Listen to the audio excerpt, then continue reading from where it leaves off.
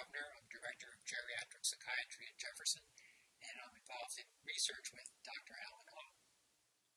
I'm Dr. Allen Ho. I'm the Director of Retina Research at Wills Eye Hospital, Thomas Jefferson University, and Mid-Atlantic Retina.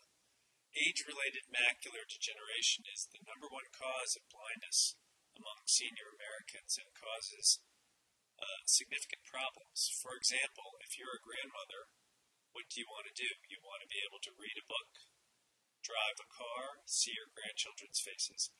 Age related macular degeneration affects that aspect of vision, your central vision. And not surprisingly, patients with central vision loss, despite our new therapies, can become depressed. And that's what this study addressed. We understand that people become depressed when they lose their vision as a result of not being able to do the activities that Dr. Ho described. This study meant to try to prevent depression in people who have lost their vision by helping them achieve goals that they set for themselves to enable them to continue to pursue activities that are important to them. And the treatment that we prescribed was first to see a low vision optometrist who evaluated their vision and prescribed devices for them. And then in the experimental people had occupational therapists come to their homes to try to improve how they function in their homes, and at the same time get them to extend beyond themselves and do more to try to uh, improve their mood by engaging more in social activities. Behavior activation is a set of procedures that enable people to accomplish those goals.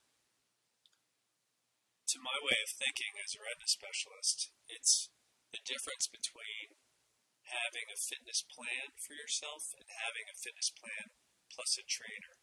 You're going to do better if you have the trainer. Exactly right. And go ahead. And what we found was that this treatment reduced the rate of depression by half in people who received this treatment relative to a control group who just had the opportunity to talk with a counselor. So talking with a counselor prevented depression to some extent, not to the extent that the occupational therapists were able to prevent depression. So, in fact, in this population, 12% of people developed depression who received occupational therapy, whereas twice that rate, 25% of people who got the supportive counseling developed depression. So, what we found essentially is that this treatment prevents depression in a high risk group of people. At Wills Eye Hospital, our goal is to perform best clinical care for patients and also to determine what the next best cares will be, including factors that affect not just the eyes and vision, but the whole patient. And Wills Eye is strongly behind this by emphasizing the importance of treating the whole patient.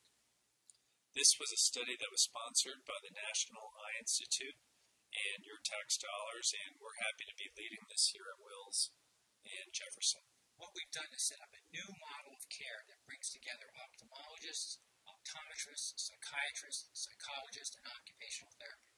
And together, this model of care can set a new standard for care, and Wills Eye is the first place to initiate this kind of treatment. Thank you. I'm Barry Rovner from Thomas Jefferson University. And I'm Allen Ho from Wills Eye Hospital, Mid Atlantic Retina, and Thomas Jefferson University.